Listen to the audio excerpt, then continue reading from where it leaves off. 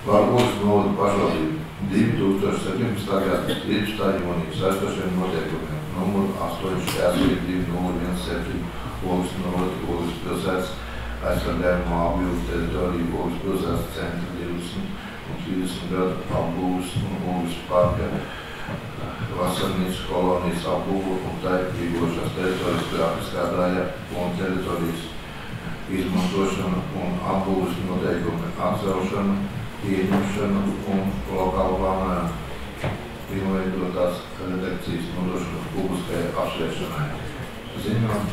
Rūkas. Labdien! Ir sagatavots ko lai atcelt šos te noteikumus. Nodot sabiedriski atkārtoties sabiedriski apspriešanai, jo esam pārkārt atkārtot konsultējoties. Uh, ir uh, šajos noteikumos ir punkts, kurš nav apspriests. Ar visiem iedzīvotājiem būtu liederīgi, un mums ir atkārtoti. Tāpat ir jāpiezīmē, ka mums augstā valsts kultūras piemēra aizsardzības institūcija augstā apstiprināja šos te kultūras piemēra individuālās aizsardzības projektus visiem šiem lokālu plānojumu teritorijā esošajiem kultūras pieminekļiem un uz tā balstīts arī šis viss lokālu plānojums. Tāpēc ir sagatavot šis lēmuma projekts. Man vēl ir viena piebilde, kad ir radusies tehniska kļūda saistošajos noteikumos par saistošo noteikumu atcelšanu. Ir divreiz ierakstīts uh, gadu statums un saistošo noteikumu numurs. Uh, numurs, kurš šeit jāizsako. Jautājumi ziņotājiem? Cik mums tas sloks izmaksāja? Budžetā mēs kaut ko grozījām. Mums atkal maksāja. Nē, mēs tikko nemaksājām. Mēs uh, esam uh, nopirkuši pakalpojumu, kamēr nu, šis pakalpojums nebūs uh, uh, nu, pienācīgi izstrādāts un nebūs uh, savas kārtībā. Mums nekas nav jāmaksā. Mēs esam, uh, mums nav, nav par to jāmaksā.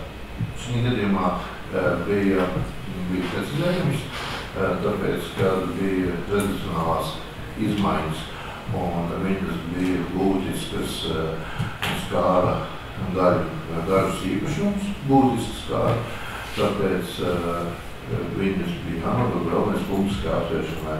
Un šajā gadījumā procedūra uh, nebija ievērota, kas saka, nebija nodot publiskā apsvēršanai, un, un publika vienkārši nezināja, sabiedrība nezināja, kādas ir bijušas tradicionālās izmaiņas.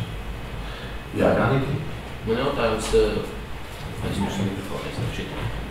Man jautājums tāds, vai, vai no ministrijas par šo, uz šiem sestošiem noteikumiem tika saņemts atzinums? Jā, es gribētu teikt, no ministrijas netika saņemts atzinums par šiem saistošiem noteikumiem. Mēs uh, paši esam nu, konstatējuši un saveduši šo jautājumu kārtībā, lai nu, uzlabotu domas darbu. Tāpēc arī esošā gadījumā mēs rīkojamies šādi. Yes. Lūdzu.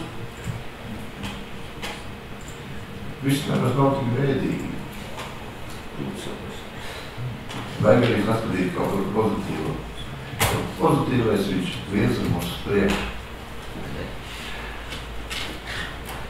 Tā kā lūgums deputātiem balsot, kas par? Pret? Atturas? Paldies! Jau